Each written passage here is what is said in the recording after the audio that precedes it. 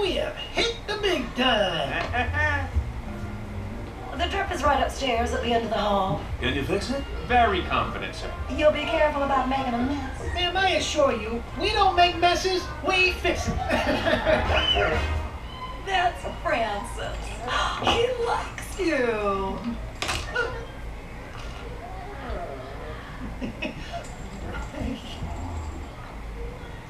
Mama, mama, mama, your baby.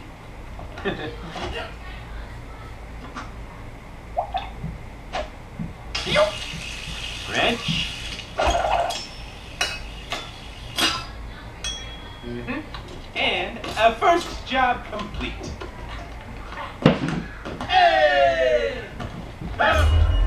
Francis is here.